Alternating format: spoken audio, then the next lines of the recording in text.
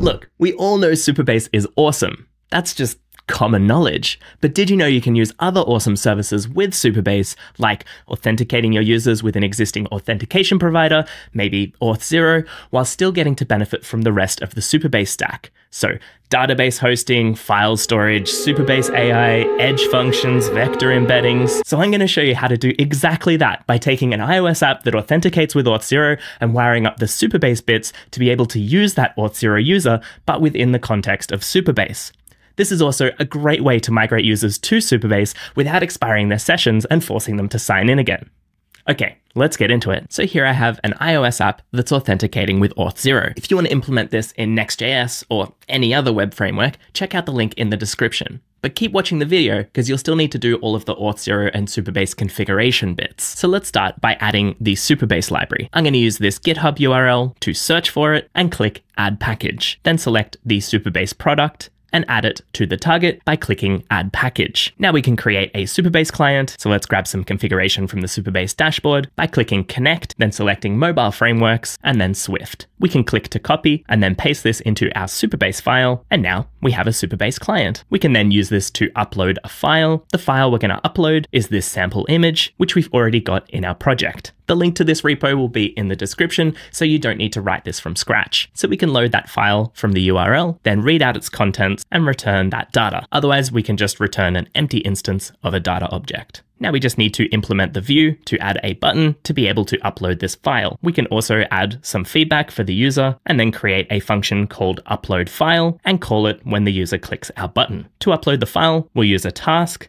that uses the Supabase client that we created earlier and calls storage.from, a bucket name that we'll create soon. Then we want to call upload, giving it the path of our sample file, and the file parameter will be our upload data or the contents of the file. And let's also add a do catch block to handle any errors that might be thrown during the upload. And we can set that status variable to the string failure and print out a description of the error. And we can also add some feedback for the user saying we are uploading after they click the button button. And if we upload the file successfully, we can let them know the file has been uploaded. So we have our upload logic in our iOS app. Let's create the storage bucket in Supabase to store our images. So we'll call this bucket images. So that's where we want to upload our files. So now back over in the Supabase dashboard, we want to go to storage and then click new bucket. The name of this one is going to be images and we can leave it as private. Next, we want to add an RLS policy to ensure that only an authenticated user is able to upload a file to the bucket.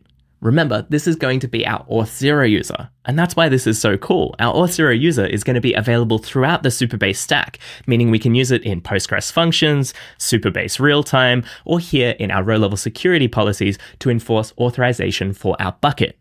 Very cool. So let's give our bucket a name like allow authenticated users, and we can select all of the operations, giving our authenticated users full read and write access to our bucket. The role we're going to select is authenticated, meaning this expression and our entire RLS policy will only be evaluated for authenticated users. So since this policy allows access and the default behavior of RLS is to deny everything, this means unauthenticated users will not be able to upload files to this bucket. So we can leave our definition expression as is with bucket ID equals our images bucket, meaning this policy will only apply to the images bucket and we can click review to see the SQL that's going to be run, and then save policy to run that SQL and apply our RLS policy to our images bucket. Now to enable third-party auth so that we can use Auth0 to authenticate our users, head over to the project settings, then authentication, and scroll all the way down to third-party auth. From here, we can add a provider. We're going to use Auth0 for this example. This requires our Auth0 domain, which we can get from our Auth0 dashboard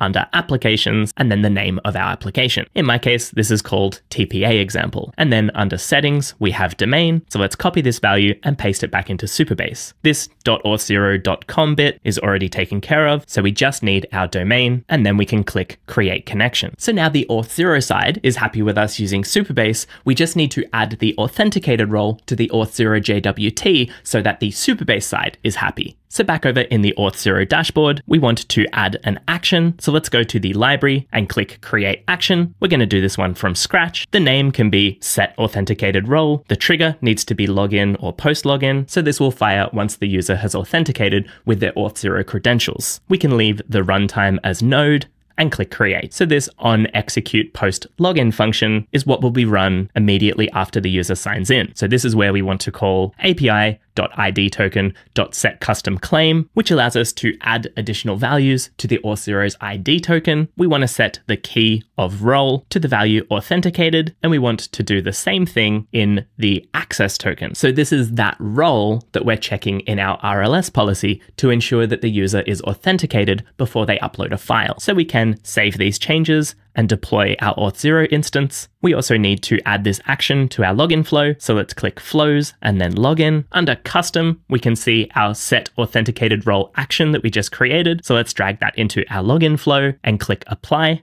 And now Auth0 is entirely configured.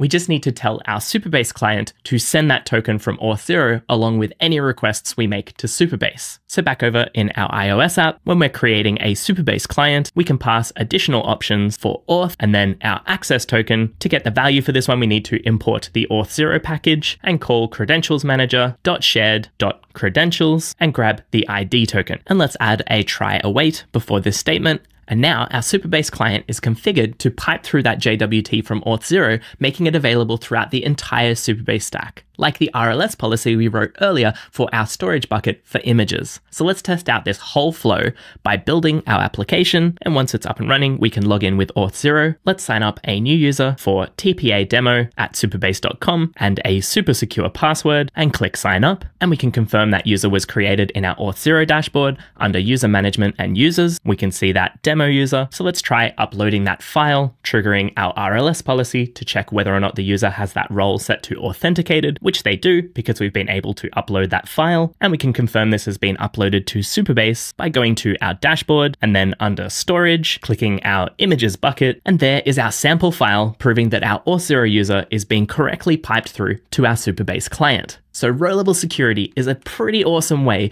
to lock down your database and ensure only the users you want to have access to things have access. To go a little deeper, you should totally check out this video right here. We cover a little more on the theory side of RLS and build up to a complex policy enforcing rules across multiple tables. If you just want to learn the next cool thing about Postgres, then check out this playlist. But until next time, keep building cool stuff.